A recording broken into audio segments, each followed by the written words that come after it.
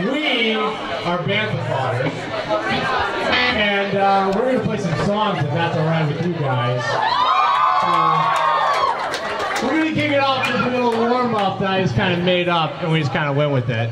So it's called Ruby, and it's named after the guitar Ruby that we named after the song. So it's just a vicious cycle. But this is how it goes.